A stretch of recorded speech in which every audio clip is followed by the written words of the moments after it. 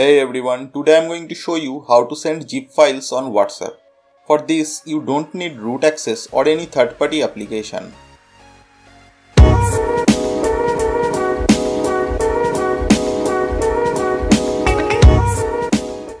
So at first you have to download the regular WhatsApp on your phone.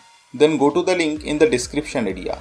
Log in with the Google account that you are using for your Play Store. Now click on Become a Tester.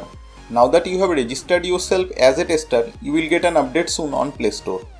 Remember, it may take some time to get that update. Now attach a video. For now we can make GIFs only up to 6 seconds. So slide these bars so that the video duration is 6 seconds or less. Now tap on the video icon on the top right corner and the clip converts to GIF and plays over and over again. Now hit send. As you can see, it's a GIF, GIF. But the catch is the other person also needs to be a beta tester. Otherwise, he or she will get this as a video file.